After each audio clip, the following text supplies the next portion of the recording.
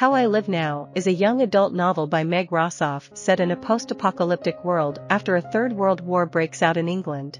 The story follows 15-year-old American narrator Daisy, who is sent to live with her Aunt Pen and four cousins on a small rural farm. Initially resentful of her stepmother for sending her away, Daisy finds solace and happiness when she forms a strong bond with her cousins, Piper and Edmund. However, their peaceful existence is shattered when soldiers invade their farm, Daisy and her cousins are thrust into a fight for survival, facing the harsh realities of violence and its emotional aftermath. The novel begins with Daisy's arrival in England, a result of her stepmother's decision to send her away. Despite her initial frustrations, Daisy gradually falls in love with her cousins and Aunt Pen, finding comfort in the idyllic setting of their countryside home. The story takes a dark turn when Aunt Pen leaves the children alone to attend an anti-war conference in Oslo. On the same day, a devastating bomb explodes in London, causing widespread destruction and loss of life. The unfolding international conflict starts to impact their lives directly, forcing Daisy and her cousins to confront the harsh realities of war and navigate the challenges it presents. As the narrative progresses, Daisy's journey becomes one of resilience and survival. She must navigate through the chaos and uncertainty, discovering inner strength and resilience in the face of adversity. The novel explores themes of love, loss, and the transformative power of human connection in the midst of a devastating war. Following the bomb detonation, England becomes occupied by soldiers, sparking a full-scale war. Daisy finds herself caught in the midst of the conflict, as the soldiers advance deeper into the countryside. During this tumultuous time, Daisy's romantic feelings for her cousin Edmund intensify, and they embark on a passionate teenage romance. However, Aunt Pen remains absent, and the looming presence of the soldiers adds to the dramatic tension. As the war escalates, the soldiers reach the farm, forcing the separation of the children. Daisy and Piper are taken in by Major McAvoy and his family, while Edmund and Osbert are sent to an undisclosed location. Isaac joins the front lines, leaving no trace of his whereabouts.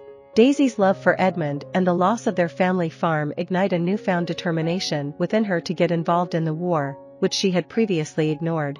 Through Major McAvoy, Daisy discovers that Edmund and Osbert are held captive at a place called Gateshead Farm. Tragically, Major McAvoy loses his life, but Daisy and Piper seize the opportunity to embark on a perilous journey to Gateshead in search of their loved ones. Along the way, they witness the brutal realities of the war, culminating in a shocking massacre at Gateshead Farm. Miraculously, Edmund and Osbert survive the ordeal. Returning to their now uninhabited farm, the family strives to heal and rebuild their lives. Six years pass, and Daisy has transitioned into adulthood. While her father calls her back to America, Daisy decides to remain in England, standing by her chosen family. Though Edmund initially feels betrayed by her departure, Daisy demonstrates her unwavering commitment by helping him overcome the lingering effects of PTSD caused by the massacre. United once again, Daisy and Edmund embrace their love, and she decides to make England her permanent home.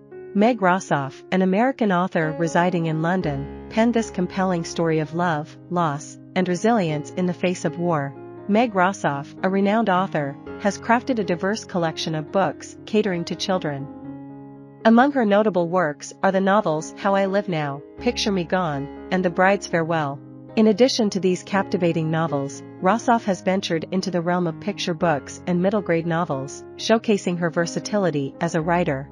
Rosoff's novel, How I Live Now has garnered critical acclaim, earning prestigious accolades such as the Guardian Children's Fiction Prize and the Printz Award. Her literary prowess has been recognized further with honors including a Carnegie Medal, a Whitbread Award, and numerous others. As a testament to her remarkable contributions to literature, Rosoff is honored as a Fellow of the Royal Society of Literature. She has also received the Distinguished Astrid Lindgren Memorial Award, which celebrates her lifetime achievements in writing. Through her imaginative storytelling and literary achievements, Meg Rosoff has captivated the hearts and minds of readers, leaving an indelible mark on children's literature. I hope you enjoyed this video, leave a like if you did and be sure to subscribe thank you.